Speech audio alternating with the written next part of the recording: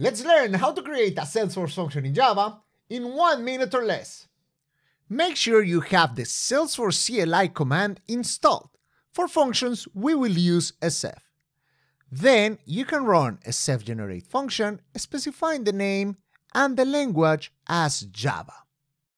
This will create a Java project in the functions folder. Let's take a look at the File Explorer.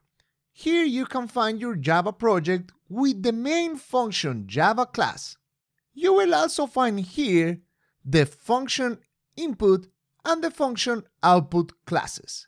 These are just plain old Java objects. You can also create a function from Visual Studio Code by using the Salesforce extension, by running create function, specifying the name, and choosing Java.